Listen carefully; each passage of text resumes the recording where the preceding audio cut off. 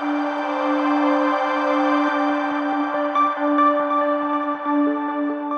जयपुर में एक अनूठा और महत्वपूर्ण समारोह आयोजित होने जा रहा है। वृंदावन की विधवाओं के लिए बनाए जा रहे सेल्टर होम्स की सराहना और माताओं को सम्मानित करने के लिए जयपुर में एक भव्य अवार्ड शो आयोजन किया जा रहा है। कार्यक्रम संयोजक और बोधि ट्री जयपुर की संचालिका शुभा गुप्ता ने बताया कि जयपुर के नोवेटेल होटल में रविवार को होने वाले इस अवार्ड शो का पोस्टर लॉन्च किया गया। इस मौके पर बॉलीवुड अभिनेत्री सभा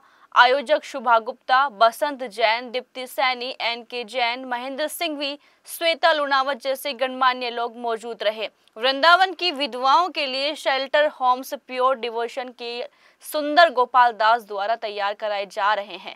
पहली कड़ी में आठ रूम का घर तैयार हो चुका है और सोलह रूम्स के नए शेल्टर हाउस की शुरुआत होने जा रही है। इस मुहिम को बोधि ट्री द्वारा चलाया गया है। इस विशेष अवसर पर इन माताओं को जयपुर बुलाया जाएगा और गुलाबी नगरी के फाइव स्टार मंच पर सम्मानित किया जाएगा।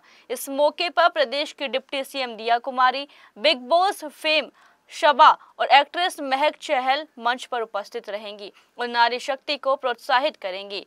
गायक शिवम सदाना अपनी लाइव प्रस्तुति देंगे और एक रैंप वो का आयोजन किया जाएगा। इस शो के ज़रिए यह संदेश दिया जाएगा कि परिधानों और शरीर की खूबसूरती की सब कुछ नहीं होती है, बल्कि माताओं की सेवा करना भी एक तरह की खूबसूरती है।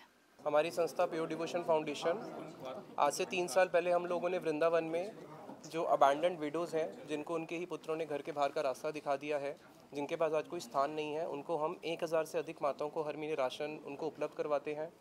अब इन माताओं को हम लोग इनके लिए शेल्टर होम का निर्माण कर रहे हैं, वृंदावन में और राधा कुंड पे।